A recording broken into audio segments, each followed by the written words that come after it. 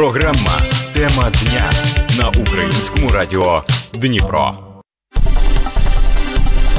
Вітаю всіх, хто слухає Українське Радіо Дніпро. В ефірі програма Тема дня студії ведуча Анастасія Мандрика. Виші Дніпропетровщини почали приймати заяви від випускників шкіл. Цьогоріч абітурієнтам полегшили процес подачі оригіналів. Майбутні бакалаври, які вступають на денну форму навчання, можуть зробити це в електронній формі або прийти особисто до приймальної комісії закладу. За бажанням на бюджетні місця подаються до п'яти заяв на будь-які спеціальності, а на контрактні необмежену кількість. Для подачі заяви в електронному вигляді абітурієнт має спочатку створити електронний кабінет вступникам. Про це повідомив директор департаменту освіти і науки Дніпропетровської ОДА Олексій Полтарацький.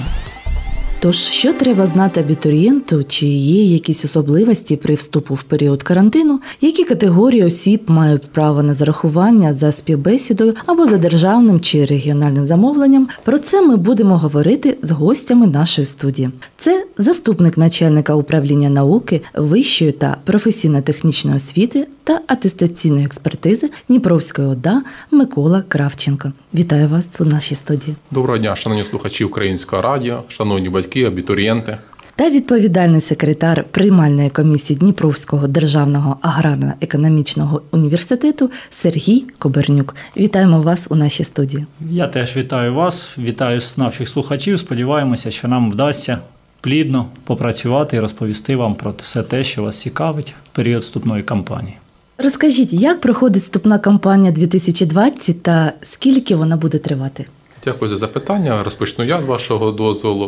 В першу чергу хотілося б сказати, що наша Дніпропетровська область представлена 22 закладами вищої освіти. Серед них це 13 університетів, 6 академій та 3 інститути. Це заклади вищої освіти Дніпропетровської області та міста Дніпро. Особливістю цієї вступної кампанії 2020 є перенесення термінів рівно на місяць. Тобто вступна кампанія 2020 розпочалася 1 серпня о 10 годині. А саме реєстрація електронних кабінетів е, абітурієнтами. Реєстрація триває з 1 серпня по 22 серпня. З 13 серпня абітурієнти в електронному вже виді подають заяви до 22 серпня. Що стосується освітнього ступня магістрів, то подаються заяви з 5 серпня до 22 серпня на основі магістратури. Що повинні знати батьки з огляду на ситуацію з карантином? Батькам потрібно знати та абітурієнтам в першу чергу, що можна подавати заяви за пріоритетністю на бюджетну форму навчання за міста державного та регіонального замовлення до п'яти заяв за пріоритетністю. Перша пріоритетність, перша заява найвища пріоритетність. Відповідна п'ята заява це найнижча пріоритетність. На контрактну форму навчання подаються безмежна кількість заяв на різні спеціальності в різні вузи. Також абітурієнти можуть навчатися одночасно в двох вузах, але є певні умови. В першу чергу це на денну форму навчання та на заочну форму навчання. Якщо він подає заяви, наприклад, і на бюджетне місце може потрапити, а якщо другий вуз, то звичайно тільки на контрактне місце. Зрозуміло, тобто один раз тільки на бюджет, а там за Так, скажіть, будь ласка, а у якій формі треба подавати заяви? Заяви подаються зазвичай в електронній формі абітурієнтами, але є виключення, в які паперові також подаються заяви. Про ці більш е, визначення та деякі моменти може Сергій Олександрович вам розказати. Будь ласка, Сергій Олександрович. Так. Дійсно, переважна більшість абітурієнтам навіть за досвідом попередніх вступних кампаній. А цьогорічна кампанія є особлива, тому що ви знаєте, навіть основні принципи міністерства закладені в основу вступної кампанії, передбачають максимальне дистанціювання приймальних комісій та вступників, дистанційне подання документів. Тому переважна більшість абітурієнтів, я б сказав би навіть більше 90%, подають заяви в електронній формі. Але та частина з них, які мають чи то документи про освіту, які були видані пізніше. Чи то, наприклад, закордонні документи про освіту, чи то вступники певних пільгових категорій, тобто з особливими умовами вступу, мають звернутися особисто до приймальної комісії для внесення їхніх документів та формування особової справи, а вже згодом в, на визначених умовами прийому умовах приймають участь у конкурсному відборі та зарахуванні. Зрозуміло. А яка процедура подання заяви до вступу е, вищих навчальних закладів в електронній формі у 2020 році? Да, будь ласка, відповімо на це питання. В першу чергу ще хотілося сказати, що в активній фазі протягом 4 днів реєстрації електронних кабінетів було зареєстровано понад 110 тисяч електронних кабінетів. Е, Лідерами є такі міста, як Київ, Львівська область і наша Дніпропетровська область. Тобто ми якби, входимо в трійку е, серед активних е, реєстраторів. Для подачі заяв в електронній формі потрібно зазначити адресу електронної пошти абітурієнтам, зазначити номер, пін-код, серію, отримання сертифіката зовнішнього залежного оцінювання. Сертифікати приймаються, крім іноземної мови 2017, 2018, 2019, 2020 років. Тобто Це попередніх років. так? попередніх років, да. Для іноземної мови 2018-го. Це немало важливо, треба знати абітурієнтам. Далі, будь ласка, зазначити серію та номер документа про повну загальну середню освіту атестату. Зазначити середній бал додатка до документу про повну загальну середню освіту, обчислений за 12-бальною системою. Зазначити номери телефонів, завантажити скановану копію фотокарточки, фото, тобто мається на увазі, завантажити скановану копію додатка до документа про повну загальну середню освіту. І якщо вступник претендує на врахування конкурсному балі, то треба сільський коефіцієнт, довідку про місце реєстрації абітурієнта. Є будемо розмовляти про коефіцієнти, галузевий, сільський, регіональні коефіцієнти та про рахування конкурсного балу. Зазначимо, що це таке. Тобто різне буває, так? Так, воно все, все різне. Також хотілося зазначити, що абітурієнтам потрібно бути уважно вносити свої дані, тому що перед тим як подати заяву, треба все чітко видивитися, прорахувати і впевнитися, що дані відповідають дійсності. Тому що після вже подання електронної заяви змінити дані неможливо. А середній бал атестату тільки за звернення до того закладу вищої освіти можна змінити, де була подача першої заяви. Це дуже важливо знати абітурієнтам. Зрозуміло. Тобто, якщо вступник зробив помилку, це все, так? Та, у випадку подання заяви в електронній формі оригінали документів подаються вступником лише один раз під час виконання вимог до зарахування. А щодо конкурсних предметів, коли та скільки їх потрібно скласти? Пане Для вступників до закладів вищої освіти, зокрема університетів, інститутів, академій, обов'язковим є наявність оцінок з трьох предметів зовнішнього незалежного оцінювання. Саме така кількість оцінок в сертифікаті дає можливість е, створити електронний кабінет та подати заяви на вступ до університету. Звичайно, абітурієнтам давалася можливість у 2020 році складати ЗНО з чотирьох предметів. Таким чином, деяка частина абітурієнтів, маючи оцінки з чотирьох предметів, може комбінувати різні предмети і за рахунок цього подавати велику кількість заяв або декілька заяв до закладів вищої освіти. І ми вели мову вже про те, що на місця державного замовлення не більше п'яти заяв. І багато хто з абітурієнтів намагається використати всі ці шанси. Але дехто зловживає і поданням заяв на вибачте, на контрактну форму навчання. Коли є такі спортсмени, частина з них подає по 100 заяв, по 150, по 200 заяв під час вступної кампанії. І це створює додаткове навантаження і приймальній комісії. Я думаю, що е, така людина ну, не усвідомлює, мабуть, е, серйозність.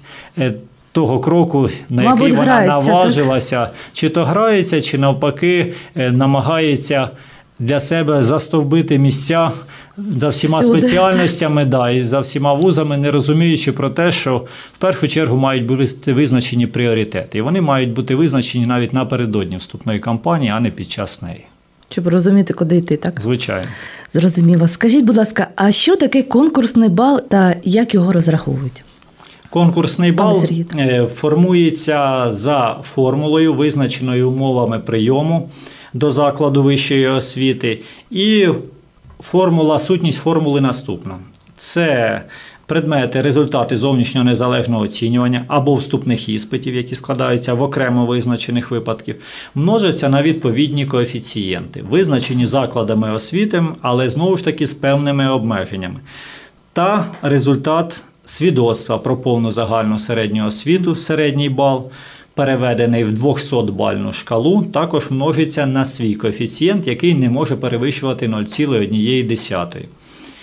На основі суми цих добутків визначається конкурсний бал вступника. До цього балу ще можуть бути додані додаткові бали за результати закінчення підготовчих курсів в університеті. Цей конкурсний бал може бути скоригований на регіональний коефіцієнт у відповідності до місця розташування закладу освіти, може бути скоригований на сільський коефіцієнт для вступників, які завершували навчання та проживали в сільській місцевості, може бути скоригований на галузевий коефіцієнт, якщо вступники подають їх на спеціальності, що потребують особливої підтримки згідно переліку, знову ж таки визначеного умовами прийому. Таким чином.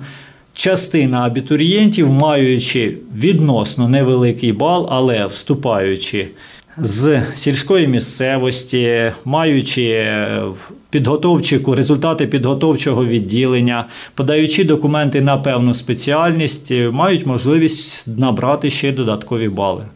В тому числі на ряд предметів передбачене додання балів до окремого предмету ЗНО е, за результатами участі у всеукраїнській олімпіаді профорієнтаційній закладу вищої освіти. Але це вже індивідуальна справа кожного закладу освіти, якщо в нього є такі спеціальності і проводились такі олімпіади.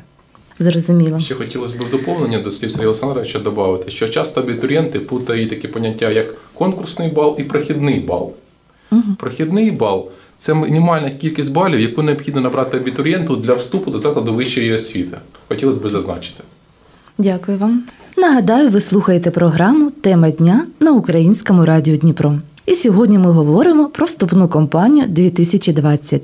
З гостями нашої студії це заступник начальника управління науки, вищої та професійної технічної освіти та атестаційної експертизи Дніпровської ОДА Микола Кравченко та відповідальний секретар приймальної комісії Дніпровського державного аграрно-економічного університету Сергій Каберенюк. Тож наша програма продовжується, і у мене таке питання: хто має пільгові умови для вступу? Які категорії? Будь ласка, хто відповість?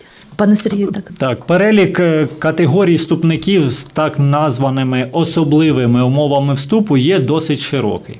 Е, Найбільш численними категоріями з досвіду роботи приймальних комісій я можу визначити наступні: це діти-сироти та позбавлені батьківського піклування, це діти учасників бойових дій та самі учасники бойових дій зазвичай при вступі на заочну форму навчання. Це діти з певними вадами здоров'я. Ну і інші категорії вступників, яких не так багато, але останнім часом все більшого.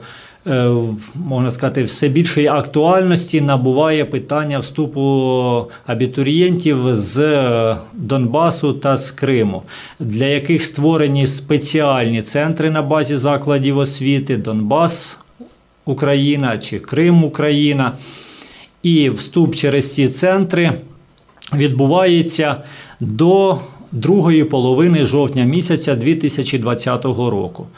Основна сесія вступу для вступників з непідконтрольних територій е, завершиться 20 серпня. Вони складуть вступні іспити, пройдуть атестацію і на основі цього будуть зараховані за квотою 2 на визначену кількість місць до закладів вищої освіти в центрах Крим Україна та Донбас Україна. Але це не означає, що на цьому вступна кампанія для них на місця державного замовлення завершиться. От за останньою інформацією Міністерства освіти і науки, і взагалі за тією політикою, яку можна так сказати, пропонує держава. Е, Має бути лише ініціатива від цих абітурієнтів, навіть якщо вони звернуться до центру в вересні, навіть якщо вони звернуться в жовтні, ми матимемо можливість прийняти в них документи, атестувати їх, провести вступні випробування, зарахувати їх на місце за кошти фізичних та юридичних осіб і досить оперативно попросити в Міністерство освіти клопотати перед міністерством про додаткове місце державного замовлення. Ці клопотання, ну я б не сказав, зазвичай завжди задовольняються. Також хотілося б доповнити, що якщо у нас раніше в тому році, наприклад, в минулих роках працювало 4 Е, освітній центр Донбас Україна та Крим Україна в чотирьох закладах вищої освіти, то в цьому році за ініціативи Міністерства освіти і науки України в кожному закладі було відкрито такі центри Донбас Україна і Крим Україна. Скажіть, будь ласка, а коли розпочнеться навчання у закладах освіти, пане Микола? Дякую за запитання. Дійсно, питання є актуальним так для батьків, так і для абітурієнтів. Цікаве це питання. Що можна сказати? Що відповідно до інформації Міністерства освіти і науки України для студентів старших курсів навчання розпочнеться 1 вересня. Для студентів першого курсу основи бакалавра, бакалаврату та освітнього ступню магістра розпочнеться з 15 вересня. Але це рекомендації, тому що буде визначати Державна комісія ТЕП та НС відповідно до епідеміологічної ситуації, пов'язаної з COVID-19. Ми знаємо, що наша держава зараз поділена області на чотири зони: на зелений, жовтий, помаранчевий і червоний рівні небезпеки. Наша Дніпропетровська область наразі є в зеленій зоні, і ближче до того 1 вересня буде визначатися навчання. Це відповідна інформація Міністерства освіти і науки України. Зрозуміло. Сподіваємося, що все розпочнеться своєчасно.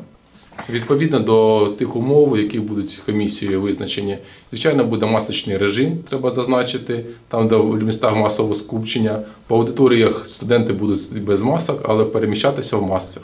І, звичайно, обробіток рух цих санітарні умови. Пане Сергію, а скажіть, будь ласка, які особливості вступу на медичні спеціальності у 2020 році? В 2020 році вступ на медичні спеціальності на основі повної загальної середньої освіти відбувається на загальних умовах, якщо не брати до уваги одну зі спеціальностей, як то фармація та промислова фармація, вступ на яку передбачає наявність у вступника мінімум 130 балів як значення конкурсного балу. Тобто це означає, що не менше, ніж 130 балів для вступу на цю спеціальність. Всі інші умови для вступників медичних такі самі, як і для інших школярів. І ваші побажання нашим радіослухачам, пане Миколо. Хотілося ще також би доповнити інформацію стосовно вступу. Е, що рекомендації на бюджет для бакалаврату буде озвучено 27 серпня рекомендації. Потрібно виконати студентам вимоги абітурієнтам до 31 серпня 18 години. А зарахування саме на бюджет буде 5 вересня.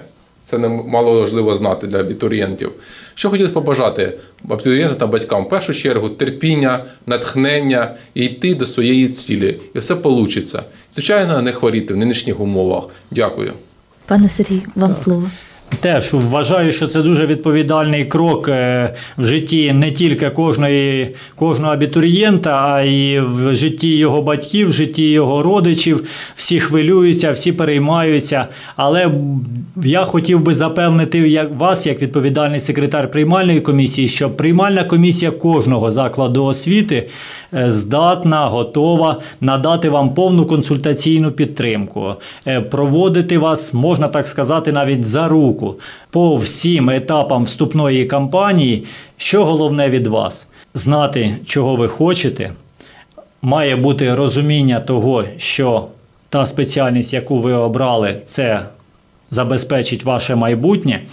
І, звичайно ж, бути позитивними, бути налаштованими на те, що ви вступите, у вас все вийде, а ми обов'язково вам у цьому допоможемо. Також хотів би зазначити, що департамент освіти і науки обласної державної адміністрації завжди радий проконсультувати та допомогти майбутнім абітурієнтам. Працює гарячі лінії. Дякую вам, що завітали до нашої студії і відповіли на наші питання. Нагадаю, що сьогодні про вступну кампанію 2020 ми говорили з заступником начальника управління науки, вищої та професійно-технічної освіти та атестаційної експертизи Дніпровської ОДА Микола Кравченко та відповідальний секретар приймальної комісії Дніпровського державного аграрно-економічного університету Сергій Кобернюк. На цьому наша програма завершується. З вами була ведуча Анастасія Мандрика та режисер Олександр Сухач. Дякую за увагу. На все добре.